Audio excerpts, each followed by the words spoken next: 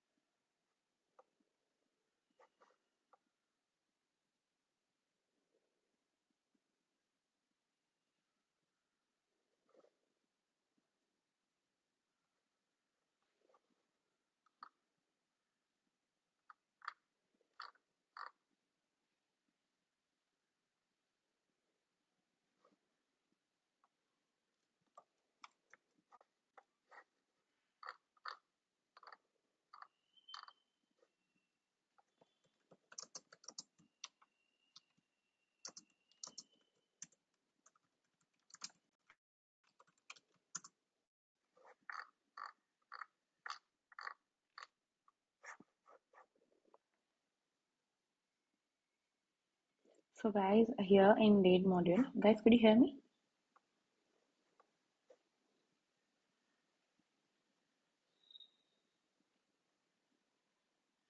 Okay, cool. So we saw how to use date module and how to get the current time.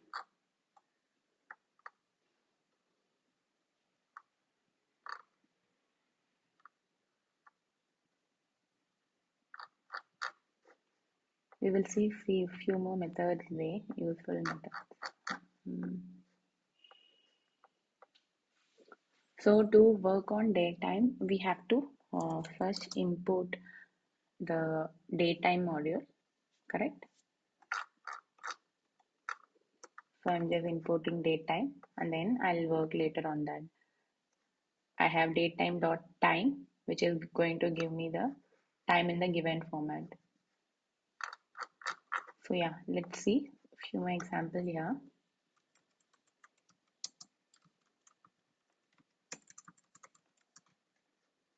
So I'm importing the datetime. Later, I want the current time while the program is running. So I will give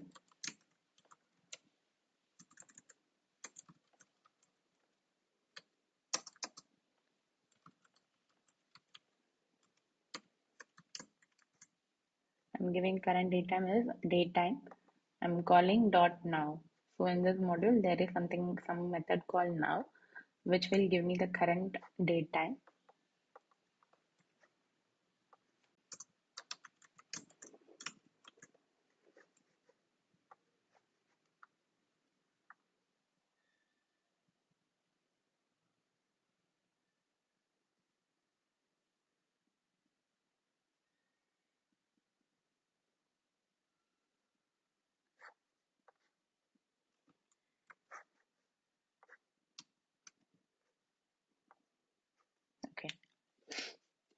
So here we are, uh, we just saw what is the current time. It is giving me my current time, including the date, everything to the uh, very precisely.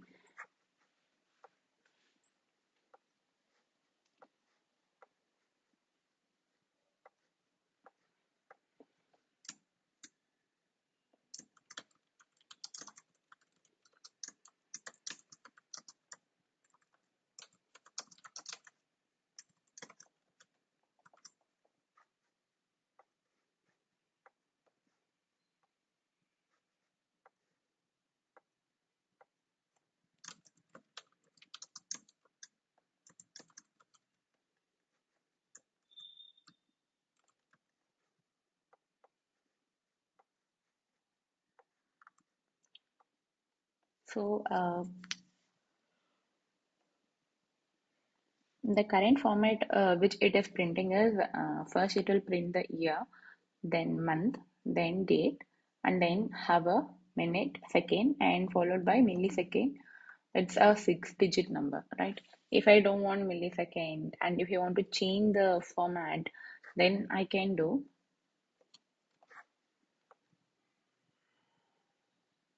there is a method called strf time string format time. So here y represent here m month d day and then here everything is capital. Hour minute second. So here i'm removing the millisecond. I don't want this millisecond to be printed. So now the format changes and prints me the output accordingly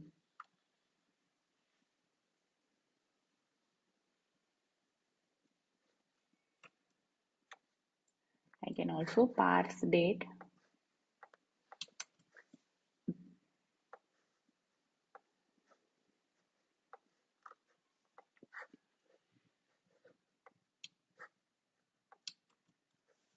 So here I have given a date format. Otherwise what I can do format a date whatever what was the current time. So initially we fetched current time. And on current time we formatted it and we have the formatted output. I can give that that variable also here formatted date here which is going to give me this. But uh, let's consider I have given some um, hard-coded value the date and time.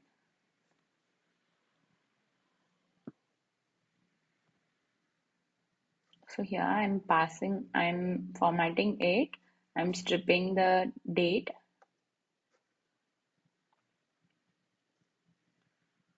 Here I can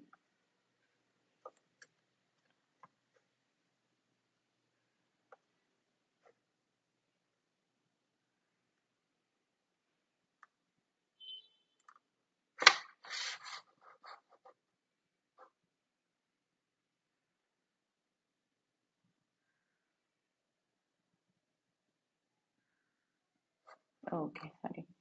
So here the thing is, here we have given datetime as a string, right? Okay. So here datetime is a string, but I want to convert it into a datetime. So usually date and time will not be inside uh, any codes. Whenever you have something inside codes, it's called string, right? Uh, now you cannot uh, use any more uh, datetime function on this because now it is considered as a string. So whenever, for example, if you are getting the date and time from the user as an input, always input will be in the form of string. But later, if you want to use, uh, you want to do some process on top of it date time. For example, we saw we did uh, minus between two date and time, right? we did arithmetic d1 minus d2 so if you use d2 which uh, which we got from the user directly because now this is a date but this is a string you cannot minus uh, you cannot do arithmetic operation between date and string data type right? So here i'm just converting it. I'm just passing it and converting it into date. So i just mentioned that strip time. So what it would do it would convert the string to date. Later, I can process anything, any date functions on top of this converted date.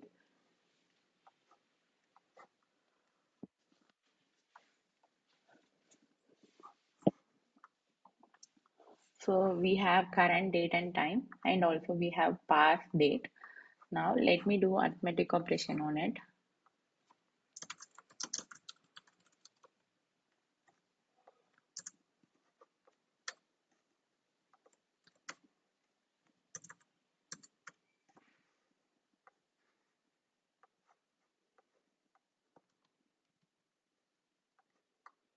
So it is giving me what is the difference between both the date. If I haven't converted here, if, if these two lines, imagine if these two lines are not present, I have only this date string, then it, it is going to throw an error here.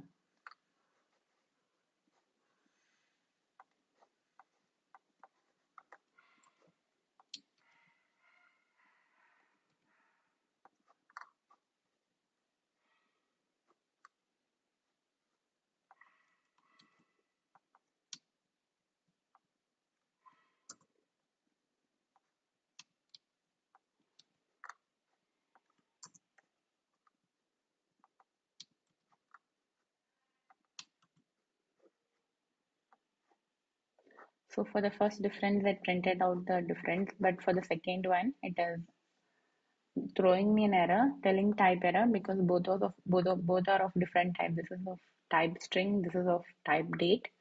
So it is telling it is uh, we cannot do any operation on it, arithmetic operation.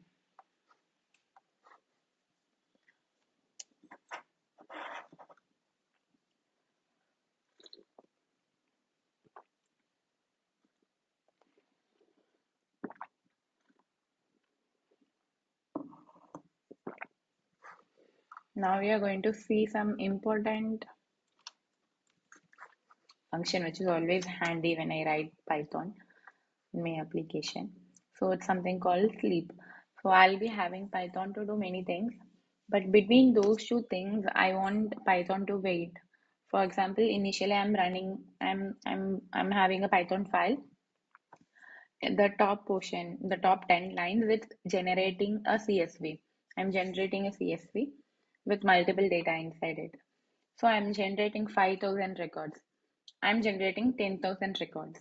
So there would be a delay, right? If I generate 10,000 record, it will take few seconds at least. Not immediately. Immediately within microsecond, it is not going to give me the file. It is going to create, uh, it is going to take few seconds. But after this, I, ha I have one more file, which what it will do, it will copy the generated file from the current path to some target path. So after the file is generated, I'm copying it to the target path. For example, if the file is still creating, still it is processing because I have lakhs and lakhs of record inside it, I want to create in that way, it will take few seconds. But without giving any pass, I'm just uh, calling the next program, which will which is trying to access the created file to put it into the target file, it is going to throw error because the created file is not present in the current directory only because it's still processing. So it has to wait for few seconds before uh, copying it, copying the CSV file from current to target because it's still processing, right? So most of the time this, this would help me. So if you want to pass a program for specific duration, then you have to go for sleep.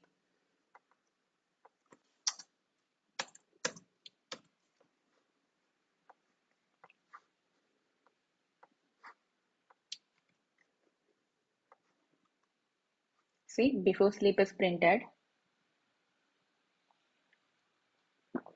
After a delay of 5 seconds, it is printing after sleep. So the first thing is happening, then it is waiting. And after few seconds, it is calling. So here you can, here whatever we give, it is in second format. You can give 10 second, 15 second, you can give few minutes also. Uh, that depends upon the use case. So this is how you can wait before calling the next function if you want to wait.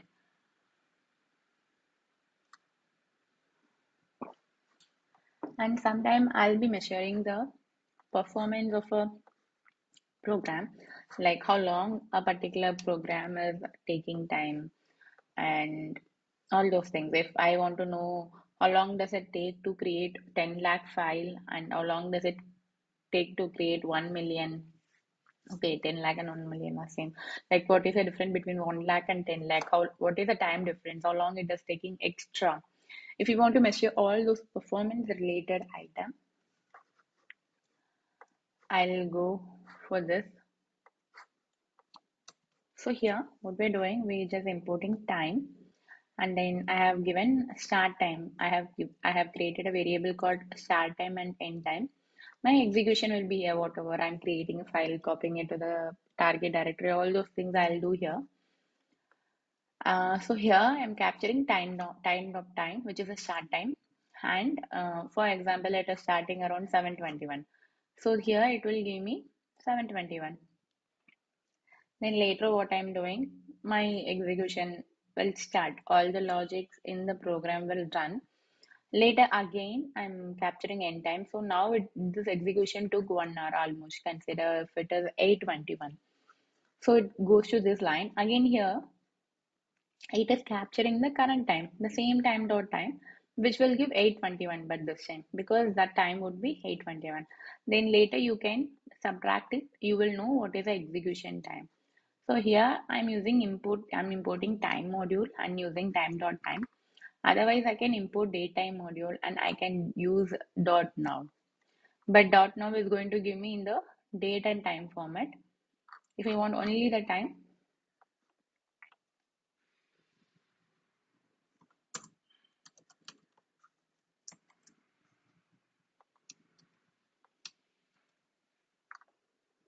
so instead of having a code here, I will pass it for 5 seconds, 15 second maybe.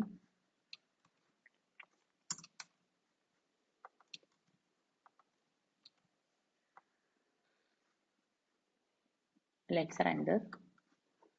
Okay, it has printed the start time.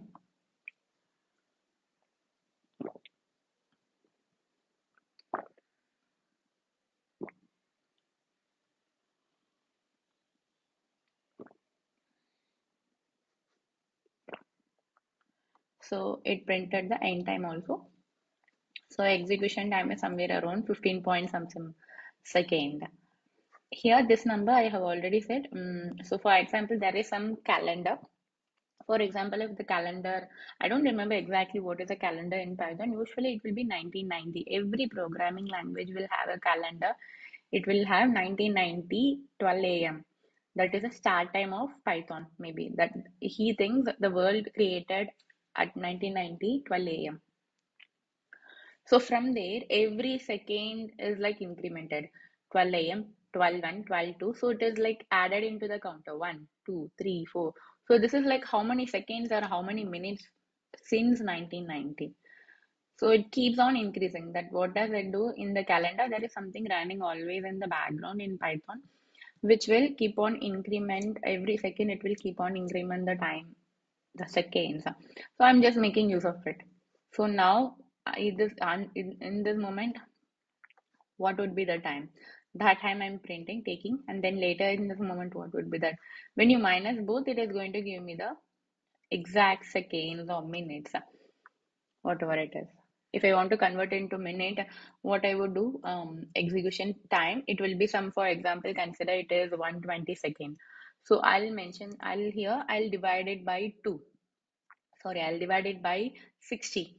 So 120 divided by 60 will be 2 minutes, right? Then here I'll not put seconds, here I'll put minutes. So I'll mention like execution time divided by 60 and here I'll put minutes if I want to put it in minutes. Similarly, I can do it for hours also.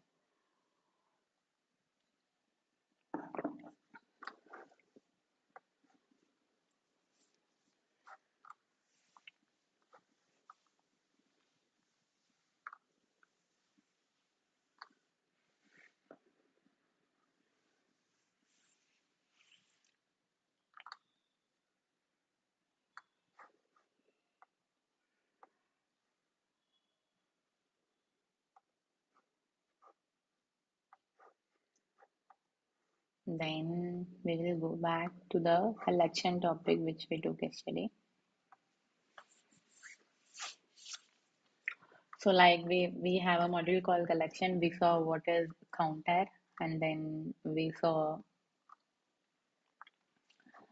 what is a, a most common inside counter if, if I give a string what is the most common and since it is in a dictionary format so I am we were trying to get item values. So did you guys try this on your own with the Jupyter notebook?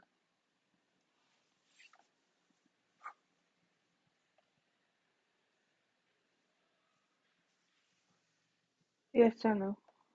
hmm because if you don't try no then today after two days if I take some advanced topic in the same topic some advanced methods or something. You will not remember this and what I take uh, it, it will not make much sense. So like just go and run and see and remember all the names. That's all. So we saw default dictionary. And we saw name tuple. And we also saw uh, deque which is a double-ended queue list which can be accessed from both the end. And we saw max line and we saw chain map which is to create a single dictionary from multiple dictionary. And then we saw order dictionary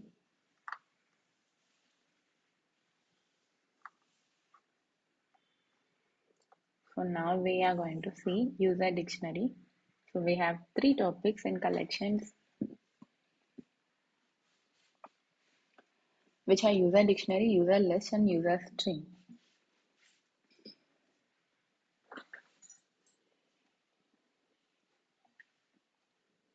So user dictionary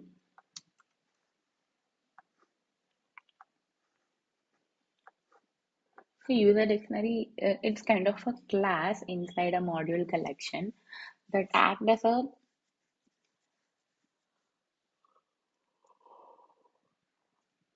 that act as a wrapper around the dictionary object, providing simple way to create custom dictionary and it often used as a base class for creating new classes that need dictionary behavior. Let's see, let's see in an example. Then you will understand.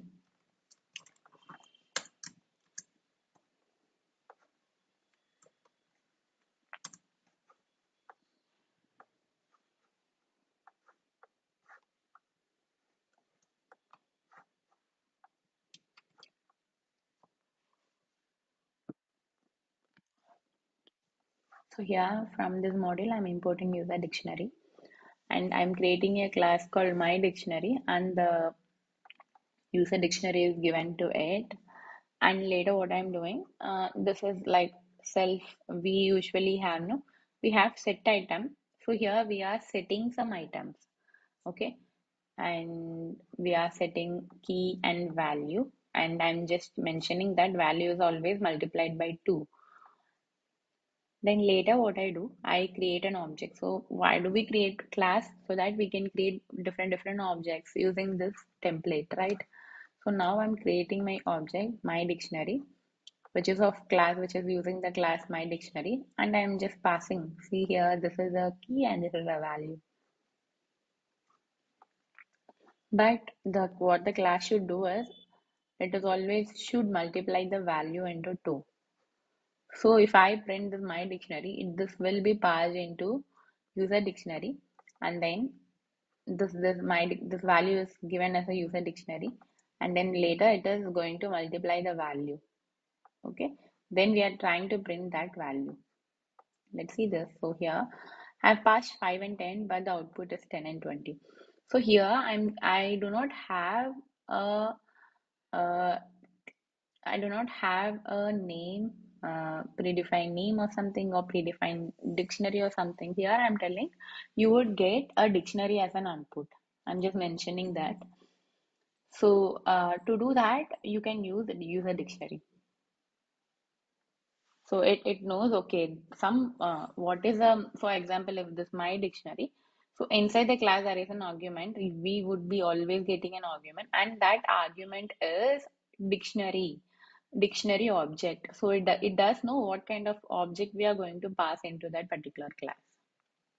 So that is a uh, that is a use of user dictionary.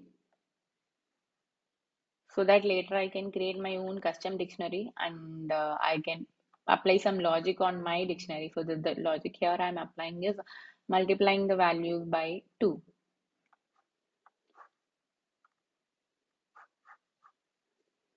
So user list is similar to user dictionary.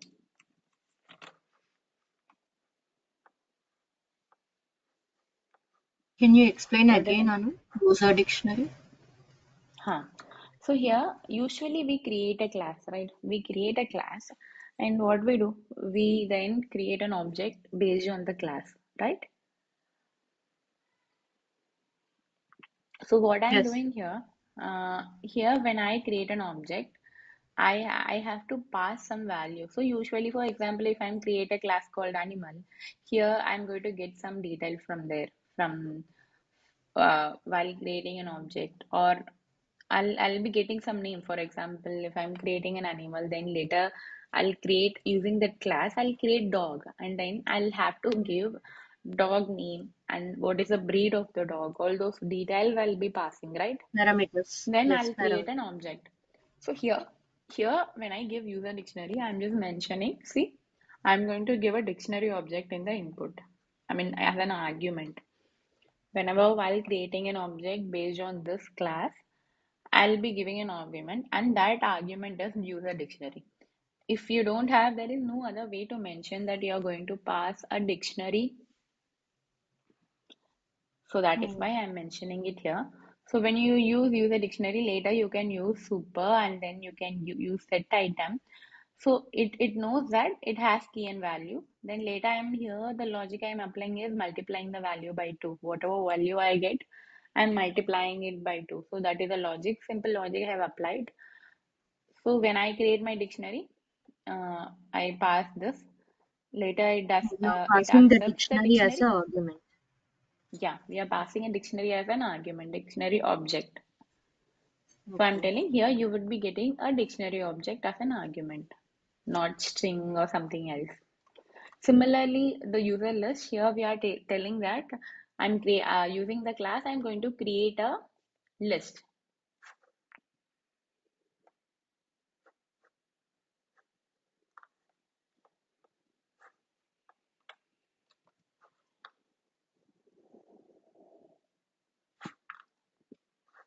Sorry. Similarly, what I'm doing, I'm telling import user list and I'm giving user list. So it knows, a class knows that the argument will be list.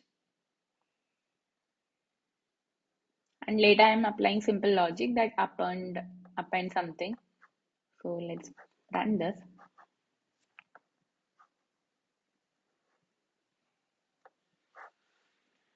Similarly, we have user string.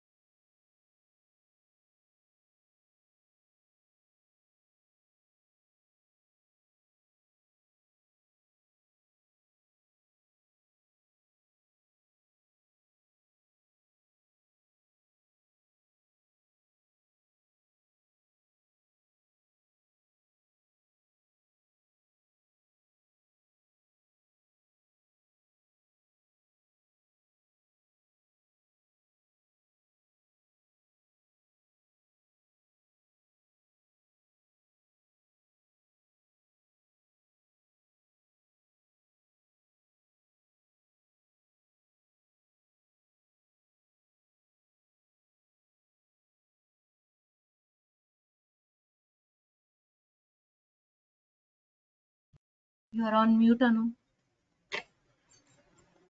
Oh, sorry. So you you did hear this, right? This.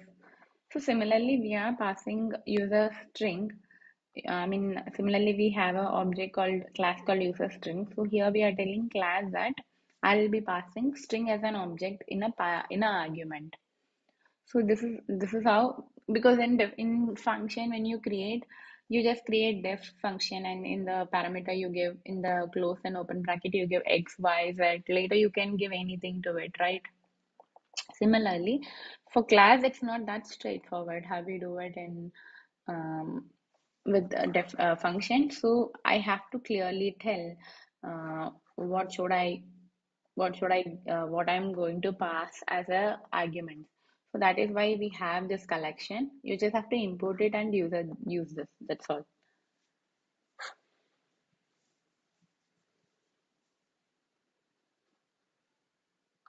Why in the print statement we are giving my string dot capitalize? We already we So have given in I'm the doing, return statement dot upper. let me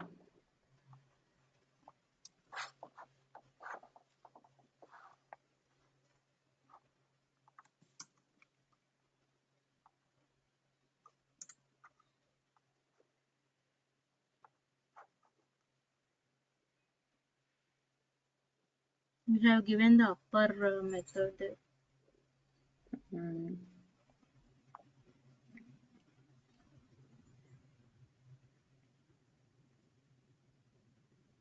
My string we should uh, my string we are giving hello function we are passing the Correct.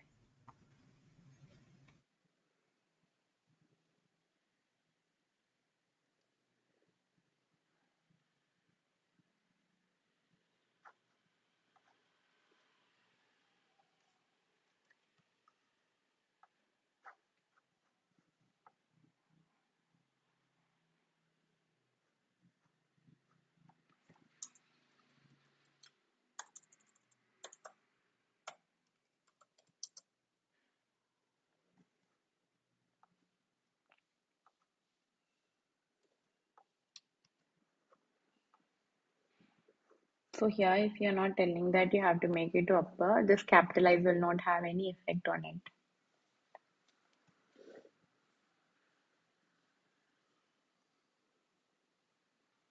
So I have removed this upper. Now the my string and my string dot capitalize doesn't is not going to work.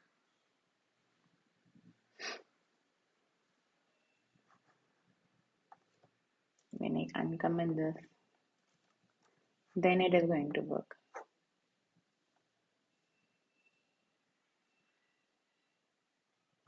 So my class should tell clearly what I'm going to do. Then later I can use capitalize or upper, all those things I can do.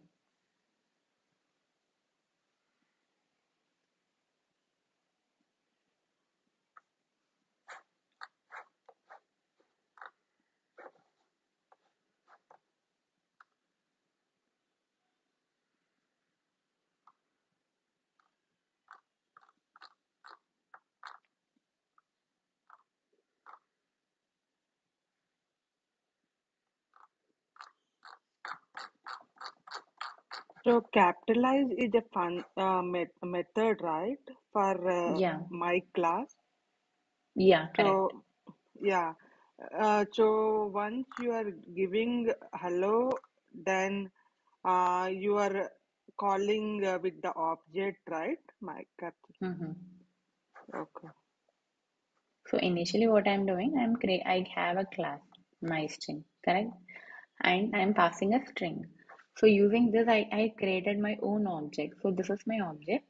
When I so here when it enters this, uh, enters when I write this line, I'm telling my string, and I'm here calling the class name and passing the input. So it knows that this is a class. It has to go to that particular class, and it has an argument. It has to get.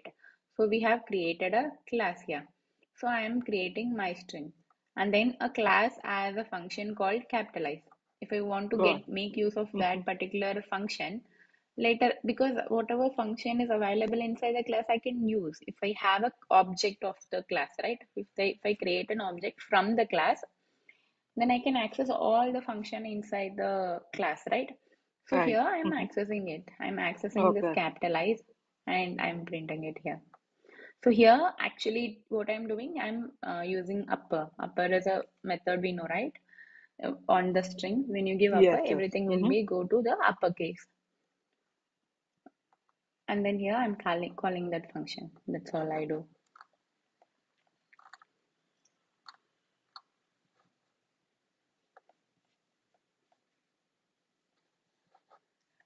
Uh, guys, give me two minutes. Uh, actually, my daughter woke up. I'll just leave her in the other room and I'll be back.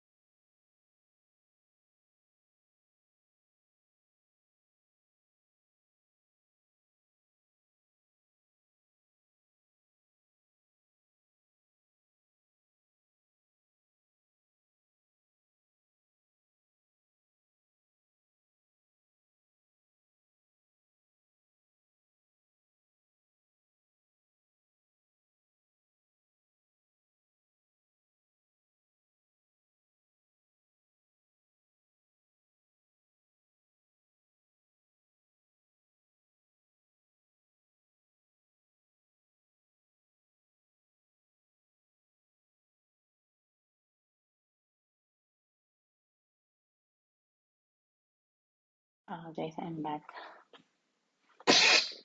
We'll now go to the next topic.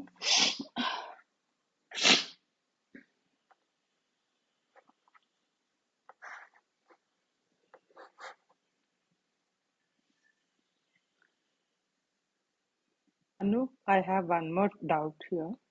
Mm-hmm. Uh, like, uh, can we give return self dot upper function or guess we had to give data? Why you are giving data for Uh, so calling self, you know, yeah, self, you know, you have to give self, right? Uh, and data. Yeah, yeah. So here, Self, yeah, uh, self we mm, know. Dot mm-hmm. upper can, can we give or we should not, we had to do this Huh. way So self is nothing but what self is telling. It it belongs to current class. That's all it is telling. Uh, But where are we getting the data from? So there should be some data, right? See here in this capitalized function, I don't have any input at all. I'm not passing any input. But I know whatever is given in the user string, I'm going to use. The class will have a string will have some string and that string will be used later that that alone i know because this is a function created inside the class and a class will be having a string so when i have to access the string of a class i have to give dot data so whatever data the class has take the data and use upper on it I see. so yeah we, you. usually we we pass some input to the function right if at all we are getting the input from the user and then we process something. Here I'm not giving any input because it, it belongs, this function belongs to class.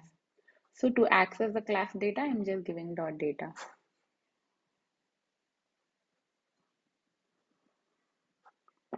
Got it, Anu. Thank you.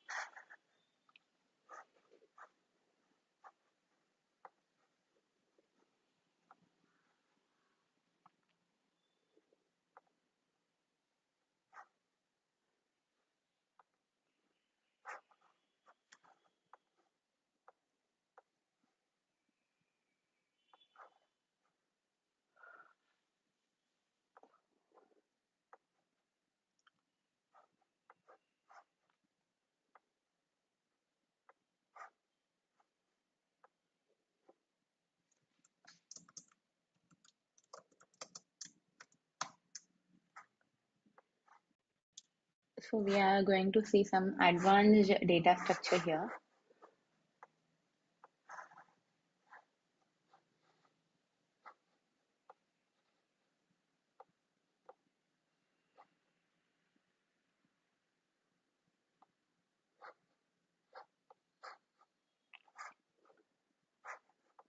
Okay. First we will start with number, integer.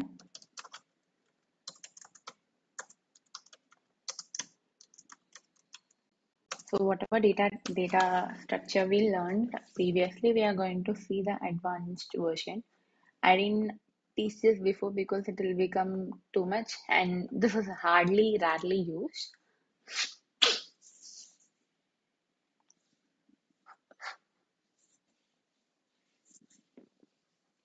So the first one is hexadecimal.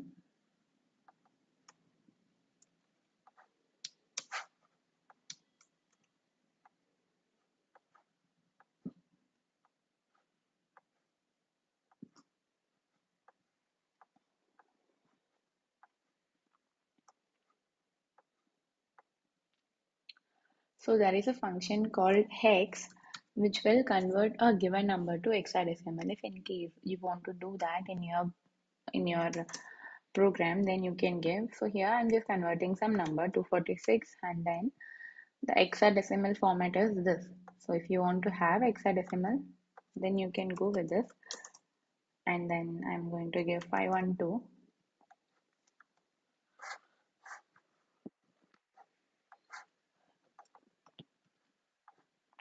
Similarly, if you want to have a binary,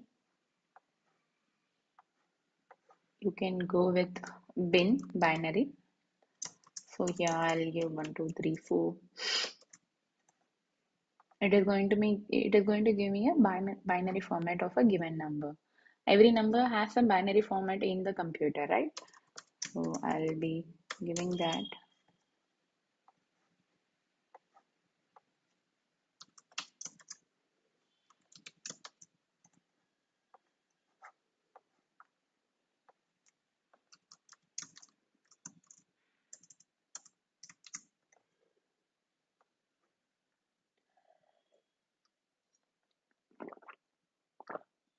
the first two characters are telling that it is in the format of binary uh, 0b here 0x the first two characters are telling it's in the format of hexadecimal. The remaining is a original hexadecimal number of 512 and here f6 is the original hexadecimal number. Here 100 is a number for binary. You can you can add 0 also before 0 100 but here we have a b the second character which tells which format it is in. And uh, we can do exponential. We have already seen exponential.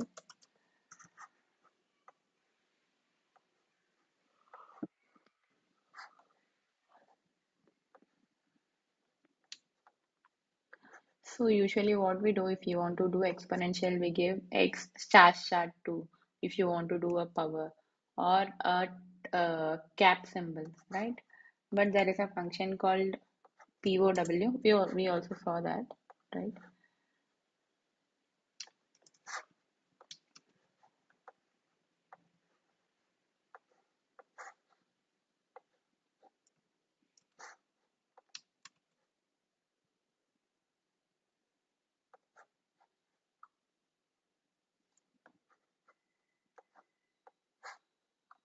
And there is something called absolute value. I believe this also we saw before.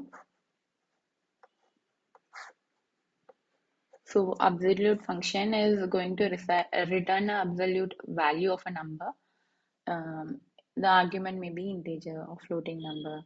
The argument may be a complex number, but only the absolute value is returned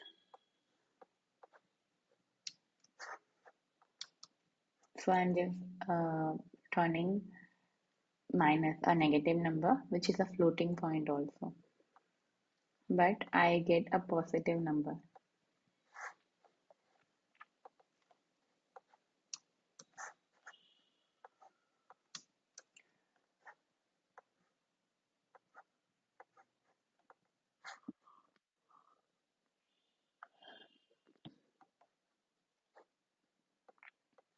So round is going to give a precision, do a precision. So here, this is my number. I want to round it to two digits. So I am telling 2 as a second argument. It is going to give me the rounded value. Similarly,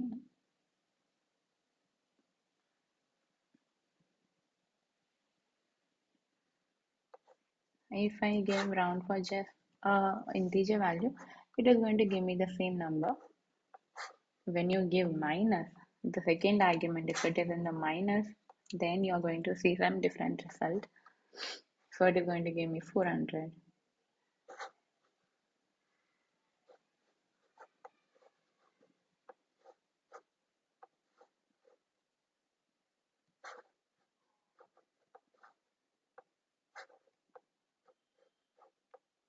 Why, Anu?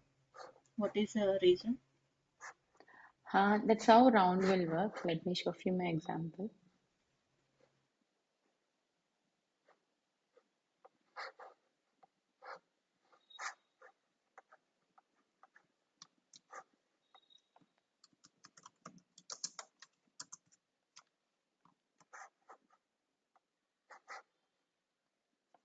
So um, round is a built-in function. Whenever you uh, give a number uh, in decimal point, it is going to round it to you accordingly what you ask. But if the second argument is minus 2, which means it is rounding to the nearest multiple of 100 or 10.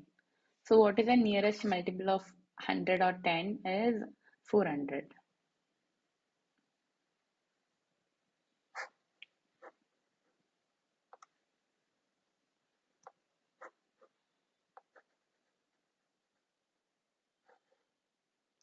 Let me put it here.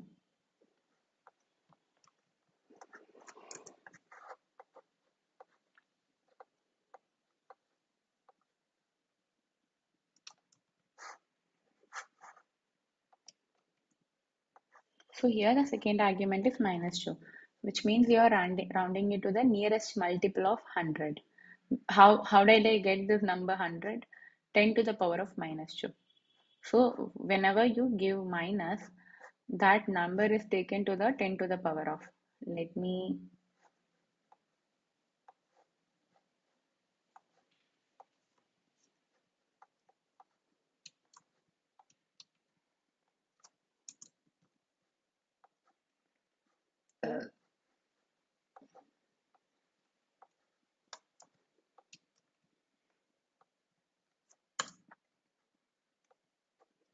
So here I'm giving minus 1, which is nothing but 10 to the power of minus 1, which is nothing but 10.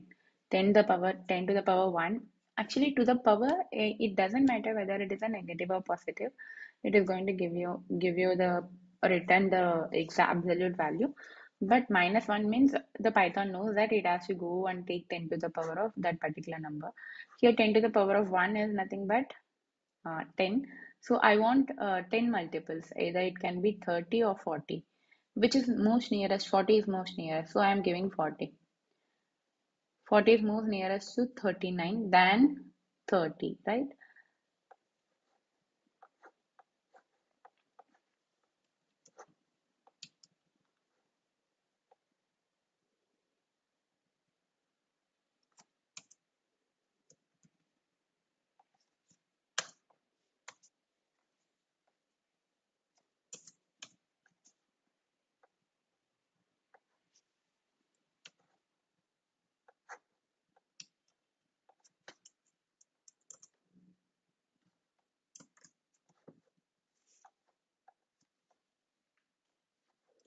so here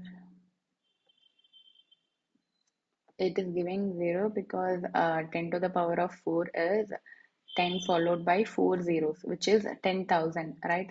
It cannot go to 10,000 because this is way more lesser than 10,000 that's why it is returning 0 here 10 to the power of 3 is nothing but 1000 right?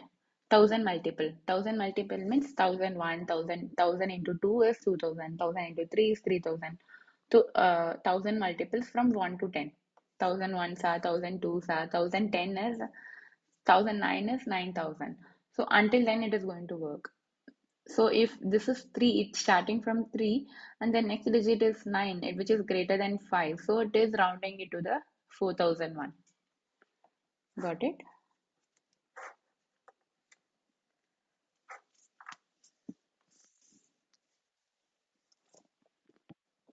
Yes. okay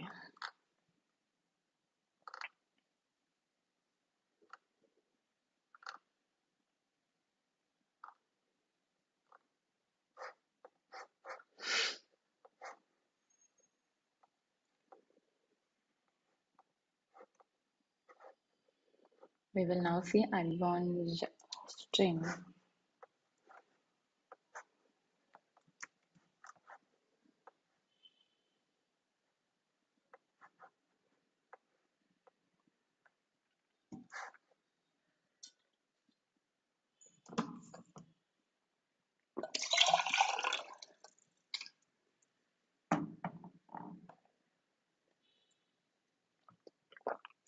few advanced strings are capitalized upper lower. I believe you all know that. The one thing which might be new is location and counting.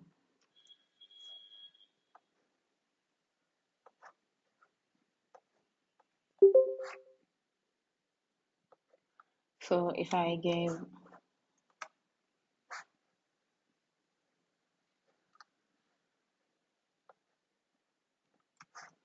so let me create a variable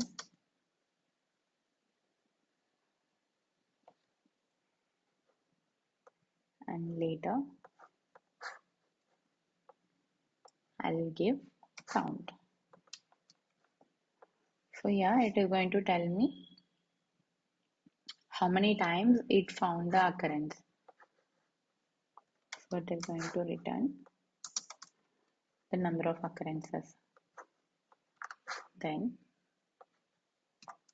I'll ask I'll ask for location of the letter O.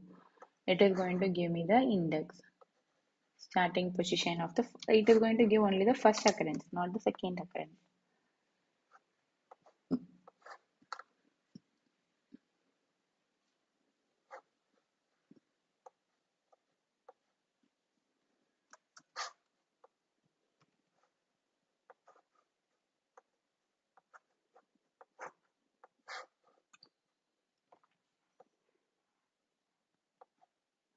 here I'm using going to use a method called center. Let's see what what it does. I'm giving 20 and then I'm giving Z, but I'm applying it on S. S is nothing but hello world, right? Let's see. So what it does, it's it make a 20 20 character memory and it places hello world in between and the remaining extra spaces are filled with Z.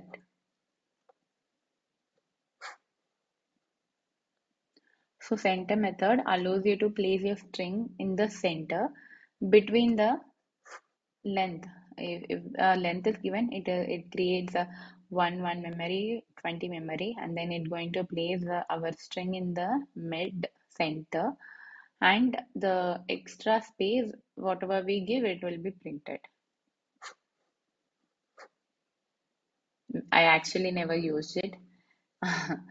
but since this is way and I never use in the real world.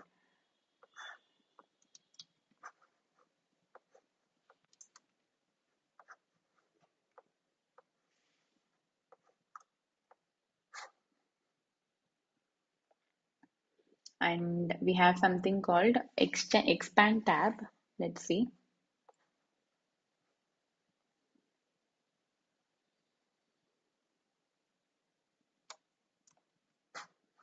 So I want a tab space between two characters. So here I'm telling this is my letter one and let I mean word two, and in between I want expand tabs. It is going to give me a tab space.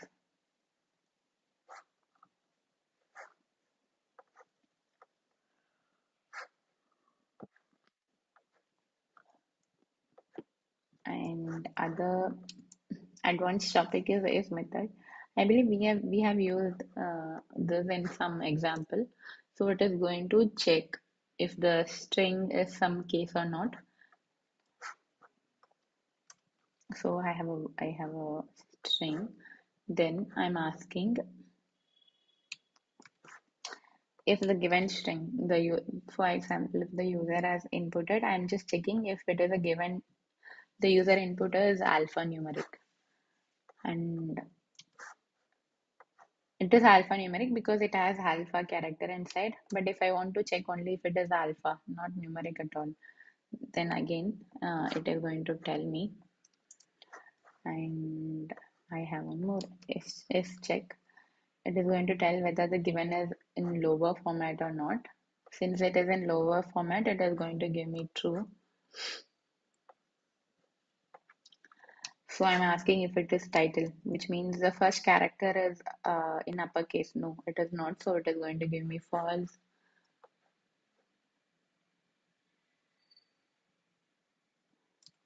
So I'm asking whether the given in entered input is a space.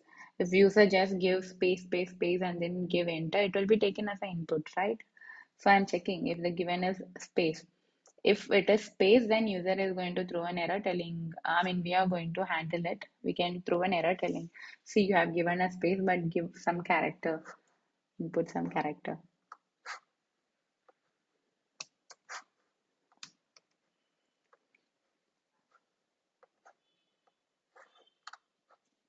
And there is one more thing which is very useful.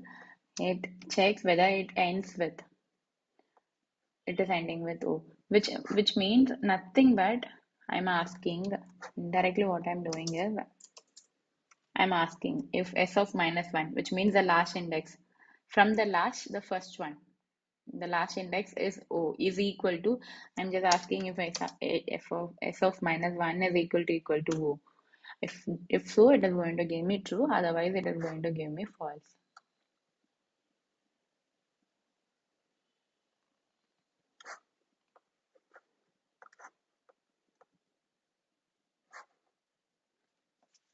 So the next thing is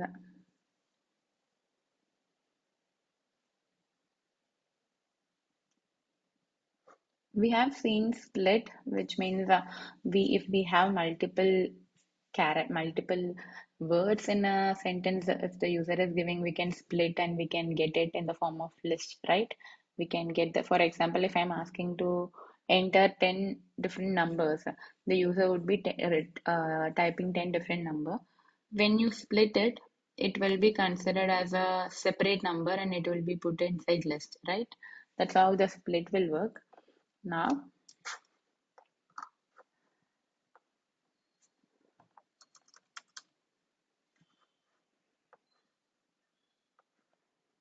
now what you are going to say is, I'm just telling split a uh, is whatever is there inside is at e. When, when you found e, split there. So it is going to remove e and then split before e and after e. Whatever is there, it is going to split, split in that way.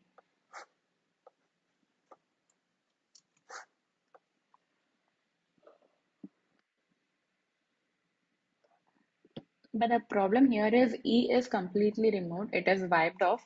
So if I don't want that, but I want to split based on that, then I can go for partition.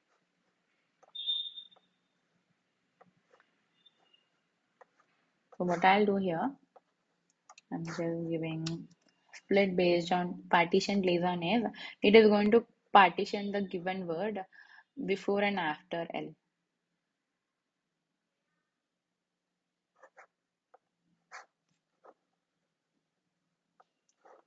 So we, we have few more topics like advanced set dictionary list.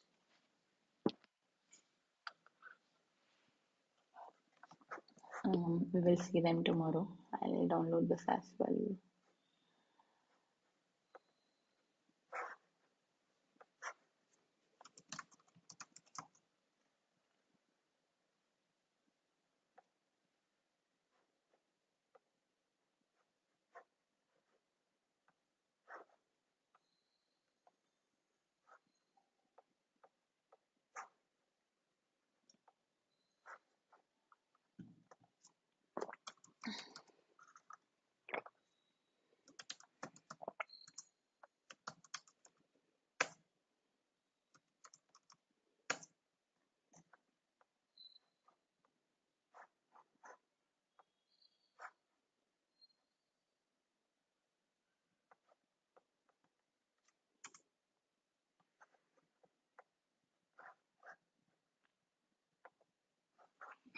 Okay, guys.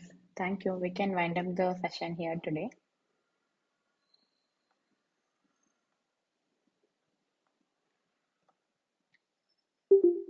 Thanks. Bye.